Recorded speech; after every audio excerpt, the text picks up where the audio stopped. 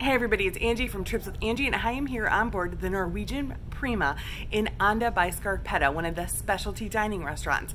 In this video, I'm going to take you through a full dining review of a week on board the Norwegian Prima, but we'll kick it off with the complimentary or included options with the new concept, Indulge Food Hall. I absolutely loved it. Let me show you around. Indulge Food Hall offers a grab and go breakfast. So they'll have egg sandwiches like this croissant sandwich or an egg McMuffin sandwich. Next to that are hash brown bowls. You also have egg white and avocado wraps. And you just go up, grab it, and head to a seat. You'll find fruit and muffins and cereal as well.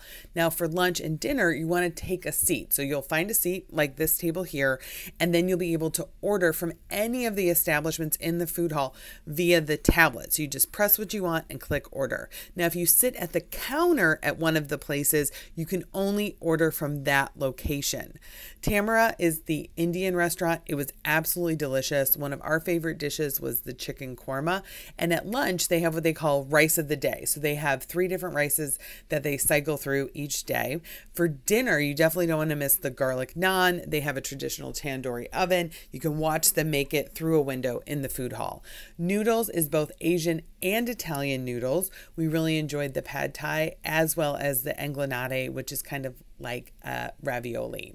Q Smokehouse, you may know from the larger breakaway class ships. They have a great barbecue turkey sandwich. I really enjoyed their deviled eggs for dinner, and we found their spare ribs to be delicious, tender, good barbecue sauce, good rub, but the coleslaw and potato salad is not good. Seaside Rotisserie is more of your grilled meats, chickens, and kebabs. At the garden, you'll find custom salads. You can get about four different kinds of salads, and then you can add on all different kinds of proteins. So, this is a great option. The tapas has cheeses and meats. You can basically order a little appetizer plaza. The Latin quarter has your typical Latin cuisine. You'll find nachos, but really the star of the show was this tuna tartar tostada. It was absolutely delicious. We got it every time we went to the food hall. It was so good. For dessert, there is a grab and go little dessert cart back by the bar, or you can get hand scooped just ice cream included. If you want something a little bit fancier, Coco's is here. Now, these desserts will be for an extra charge. If you're looking for a more traditional buffet experience, you want to head up to the Surfside Cafe. Now, this is a little bit smaller buffet than you may be used to, but it has all of the staples. So you have your salad bar. At lunchtime, they have a focaccia pizza that is delicious or thin crust in the evening.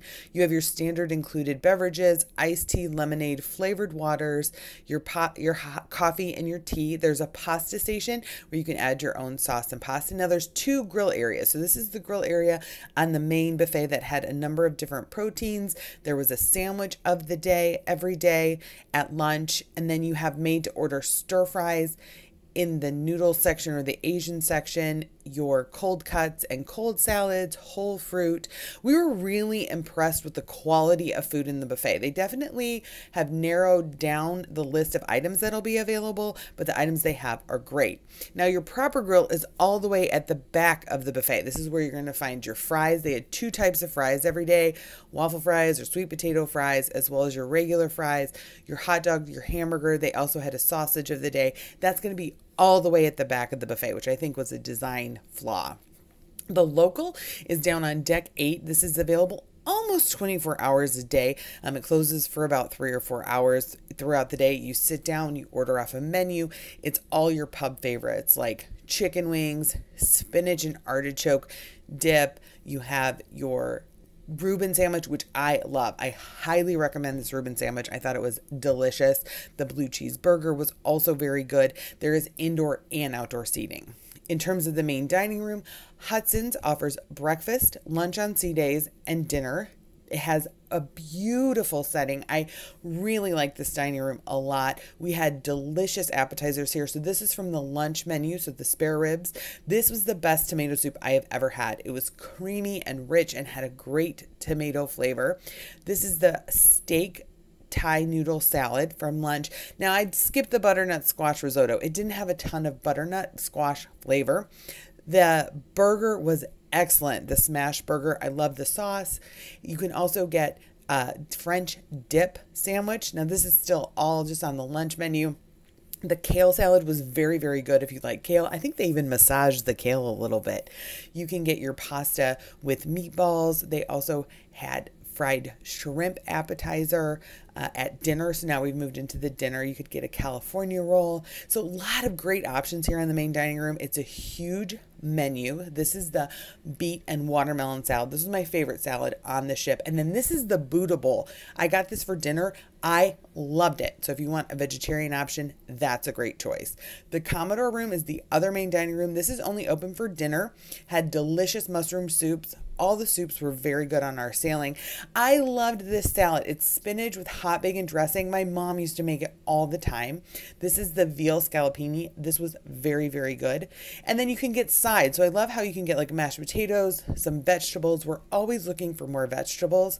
And here is the mahi mahi. Now, this was terribly overcooked. Don't get that.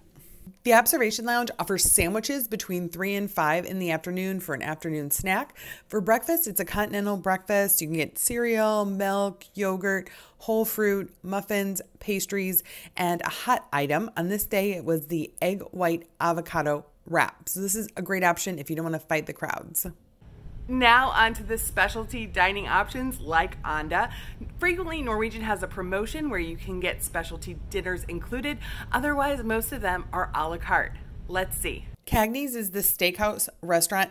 Reservations are very difficult to get here, so you want to be sure to go in and make your dining reservation as soon as reservations open up for you.